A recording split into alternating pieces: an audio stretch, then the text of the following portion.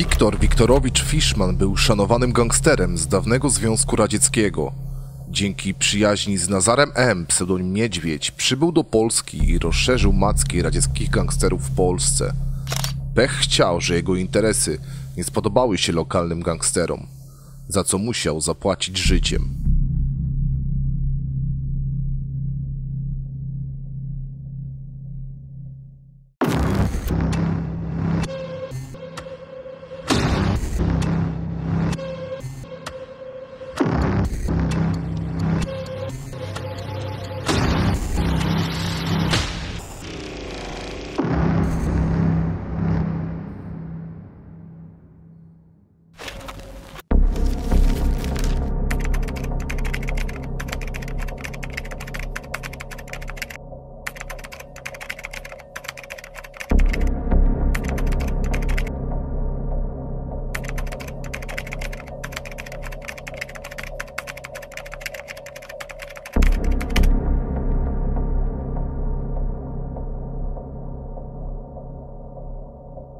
Wiktor Wiktorowicz Fiszman urodził się 1 maja 1964 roku w Mińsku. Jego rodzice byli pochodzenia żydowskiego. Zresztą on sam wyznawał tę religię. Uczęszczał do mińskiej podstawówki, którą ukończył, by później skończyć szkołę zawodową. W wieku nastoletnim zainteresował się sportem. Ćwiczył boks i kickboxing oraz regularnie uczęszczał do siłowni, którą białoruski rząd stworzył w centrum Mińska. Blisko związał się z niejakim Nazarem M., na którego mówiono niedźwiedź. Niedźwiedź wówczas był stałym bywalcem mińskich mat. Ćwiczył regularnie kickboxing i zanosił się na dobrego zawodnika. Obaj panowie zbliżyli się do siebie wówczas bliżej. Pomimo, że pochodzili z jednej dzielnicy, nie łączyły ich wtedy bliskie relacje. Sala treningowa zmieniła to. Wchodząc w pełnoletność, Fishman u boku niedźwiedzia rozpoczął raczkowanie w środowisku przestępczym. W latach 80. w Mińsku rozkwitała przestępczość zorganizowana, którą dominowali wówczas już woży w zakone, czyli zawodowi złodzieje lub złodzieje w zakonie. Byli oni częścią macek wielkiej rosyjskiej mafii, która zalewała cały Związek Radziecki. Koledzy z sali treningowej raczkowali wówczas w środowisku przestępczym. Często toczyli potyczki na dyskotekach, czy trudnili się handlem w relacjach import-eksport, lecz pomiędzy miastami Białorusi. Mówiono na nich wówczas gangcentr, czyli gang z centrum, lub sportsmieny, czyli sportowcy. W skład gangu, którego formalnym liderem był Nazar M., pseudonim Niedźwiedź, wchodzili Wiktor Fiszman, Sława Donecki, Georgi Ryłkow, pseudonim Żora, czy znani zapaśnicy jak Igor Michałczuk czy Siergiej Rybkoń. W pierwszej połowie lat 80. ubiegłego wieku w Mińsku na dobre panowała rosyjska mafia. Wiele grup z Rosji miało swoich rezydentów w całej Białorusi, w tym osławiona Sąceska Bratwa, uważana za największą w tamtym czasie grupę działającą w Związku Radzieckim, ale również mocna Dąbowska Bratwa, która równie była znacząca w strukturach rosyjskiej mafii. Kształtujący się gang złożony z młodych sportowców początkowo nie konkurował ze starszymi datą gangsterami, uważanymi za rezydentów rosyjskich grup przestępczych. W momencie, gdy pojawiły się kasyna, otwierały się granice na handel z Europą, gangsterzy skonfliktowali się. W wojnie życie straciło wielu gangsterów. Podejrzewano również Wiktora Fiszmana o zamordowanie dwóch starszych recydywistów w 1985 roku. Zginęli oni w centrum Mińska. Pomimo podejrzeń, białoruska milicja nie udowodniła tego wówczas Wiktorowi Fiszmanowi. Wtedy też Wiktor Fiszman pierwszy raz pozostawił swój ślad w kartotekach policyjnych, a ciągnąca się za nim łatka gangstera dała mu pogłos w półświadku białoruskich gangów. Pod koniec lat 80. Wiktor Fiszman pobił członka konkurencyjnego gangu w Mińsku. Pobicie było na tyle dotkliwe, że nieprzytomnego rywala zawieziono do szpitala. Wówczas milicja białoruska rozpoczęła intensywne poszukiwania. Zatrzymano go i aresztowano w 1986 roku. Skazano go na dwa lata więzienia w więzieniu Okrestina, gdzie wyroki odbywali również recydywiści i uznani złodzieje w zakonie. Wiadomo, że Wiktor Fishman był lojalny niedźwiedziowi i nie zmienił stron konfliktu. Dodatkowo gardził kodeksem postępowania białoruskich kryminalistów. Mury więzienia opuścił w 1988 roku. 1989 roku milicja i prokuratura uzyskała nowe informacje odnośnie podwójnego morderstwa i wznowiła śledztwo. Wiktor Fishman był poszukiwany i ukrywał się w wielu lokalizacjach w Mińsku i na całej Białorusi.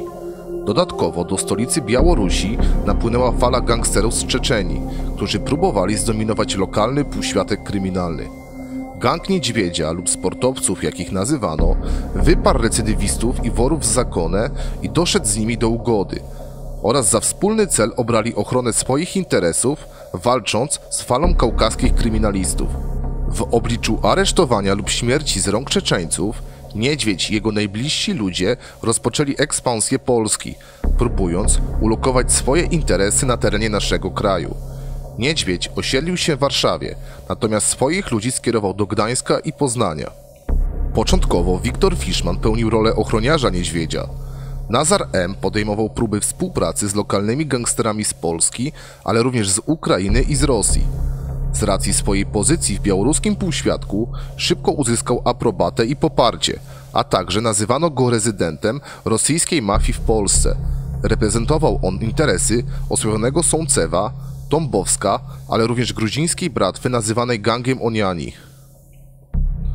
Dzięki bliskości z niedźwiedziem, Fishman uzyskiwał znaczące znajomości w półświadku. Gdy pozycja niedźwiedzia w Warszawie była ukształtowana, wysłał on Fishmana do Gdańska, aby rozszerzyć swoje interesy. W Gdańsku działał na przełomie 1990 i 1991 roku. Wspólnie ze wspólnikami miał działać w branży samochodowej i przemytniczej. Szybko jednak zmienił lokalizację działań na Pomorze Zachodnie. Do Szczecina trafił na przełomie 1992 i 1993 roku z polecenia Niedźwiedzia. Miejsce te dla gangsterów z Białorusi miało być kluczowe ze względu na bliskość do portu, dzięki któremu mogli rozszerzyć swój przemytniczy szlak. Wtedy też gangsterzy z Białorusi dzięki współpracy z rosyjskimi bratwami mieli rozpocząć przemyt kradzionych pojazdów w Stanach Zjednoczonych, które później dostarczali na Ukrainę i do Rosji. Wtedy też jako pierwsi mieli rozpocząć interesy narkotykowe z kolumbijskimi kartelami. Wiktor Fishman stał się twarzą białoruskich gangsterów w tym rejonie. Zorganizował wokół siebie prężną i silną ekipę rosyjskojęzycznych gangsterów. Ponoć mówiono na niego Jaurej, co oznaczało Żyd, nawiązując do jego pochodzenia. Od 1993 roku Wiktor Fishman stał się ważną personą w szczecińskim półświadku. Miał ponoć kontrolować dostawy narkotyków, dostawy kradzionych samochodów, ale również nadzorować przemyt ludzi do Niemiec, w tym szczególnie organizować tzw. Tak domy uciechy, czyli miejsca, gdzie świadczono usługi prostytucyjne. Początkowo jego interesy nie wchodziły w drogę polskim gangsterom ze Szczecina, których domniemanym liderem miał być Marek M., pseudonim Oczko. Oba gangi miały nawet ze sobą współpracować i dokonywać wielu operacji przestępczych w Szczecinie. Fishmana uważano za rezydenta rosyjskojęzycznych grup przestępczych, co dodatkowo stawiało go wysoko w półświadku.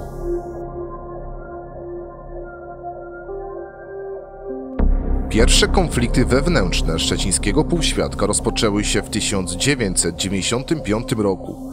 Wtedy też działalność Fishmana miała rozszerzyć się o handel narkotykami na terenie zachodniego Pomorza, a także miał on prowadzić kilka klubów nocnych i tzw. Tak domówek. To też nie spodobało się gangsterom ze Szczecina. Dodatkowo w 1996 roku Fishman rozwinął swój interes samochodowy samodzielnie, nie korzystając z pomocy szczecińskich gangsterów. Miał również pomagać rosyjskojęzycznym handlarzom i biznesmenom na Pomorzu Zachodnim i Wielkopolsce, co tylko eskalowało konflikt.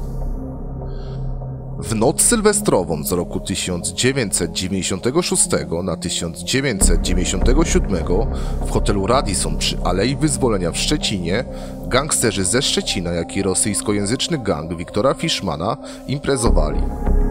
Ponoć konflikt miał się załagodzić, a gangsterzy mieli wspólnie rozmawiać i się bawić. Niespodziewanie doszło do awantury. Jeden z gangsterów za wschodu miał przypadkowo strącić kapelusz jednej z kobiet, będącej partnerką szczecińskiego gangstera. Według relacji samego niedźwiedzia to gangsterzy ze Szczecina mieli prowokować białoruskich gangsterów, zalecając się do ich partnerek i obrażając Wiktora Fiszmana, a także jego prawą rękę Olega Szybuta. Również z jego relacji w Radisonie miało jedynie dojść do bijatyki, którą wygrali białoruscy gangsterzy oraz do kilku ciosów nożem. Nie potwierdza on jednak informacji o strzelaninie, która miała tam miejsce. Natomiast medialna wersja mówi, iż słowna potyczka przerodziła się w bójkę, w której białoruscy gangsterzy mieli ranić nożem czterech szczecińskich gangsterów, a ci w ramach odwetu postrzelili dwóch Białorusinów. Nad ranem 1 stycznia 1997 roku wybuchła wojna pomiędzy rywalizującymi grupami. Na Wiktora Fiszmana i jego ludzi wydano wyrok śmierci. Pierwsza próba zabójstwa Fiszmana miała miejsce już dwa tygodnie po zdarzeniach w Radisonie. W połowie stycznia 1997 roku postrzelono w biodro mężczyznę, który był łudząco podobny do Wiktora Fiszmana. Zabójca pomylił Wiktora Fiszmana z Sebastianem W. Jego próbował zastrzelić. Na szczęście Sebastian W. pomimo rany szarpanej przeżył, gdyż drugi strzał skierowany w okolice jego głowy był niecelny. Kolejna próba miała miejsce tydzień później w centrum, gdzie gangsterzy namierzyli samochód marki Mercedes, którym na co dzień poruszał się Wiktor Fiszman, lecz gdy zauważyli, że wysiada z niego inna osoba, odpuścili atak, nie robiąc powtórki z poprzednich wydarzeń. Ostatecznie Wiktora Fiszmana kule dopadły 22 stycznia 1997 roku. Pomiędzy godziną 18 a 19 Wiktor Fiszman wracał z siłowni do swojego mieszkania w okolicach szczecińskiego centrum na ulicy Malczewskiego. Gdy wjechał na parking przy bloku, w którym mieszkał i opuszczał pojazd, z za krzaków wyłonił się zabójca i oddał do niego dwa niecelne strzały. Gdy gangster uniósł ręce do góry w geście poddania się, zabójca podszedł do niego bliżej. W tym momencie Wiktor Fiszman zaczął uciekać na drugą stronę ulicy. Wtedy też zamachowiec oddał cztery strzały w jego ciało. Wówczas Wiktor Fiszman padł martwy na chodniku. Do rozwiązania sprawy morderstwa Wiktora Fiszmana przyczyniły się późniejsze zeznania Rafała H., pseudonim Czarny, jednego z ważniejszych gangsterów szczecińskiego półświadka, który rozpoczął współpracę z policją. Według jego zeznań Marek M., pseudonim Oczko i Sylwester O., pseudonim Sylwek mieli wynająć Zdzisława E., pseudonim Zdzicho z osławionego gangu Janusza T., pseudonim Krakowiak. Kwotą kontraktu miało być 100 tysięcy złotych. Taką wersję przyjęła prokuratura i sąd, a motywem miały być interesy Fiszmana i konflikt pomiędzy grupami. Niedźwiedź ściągnął ciało Wiktora Fiszmana do Mińska, finansując również pogrzeb. Wiktor Fiszman osierocił swojego syna Miszę, a także pozostawił swoją żonę Tatianę. W ten sposób zakończył on swój żywot.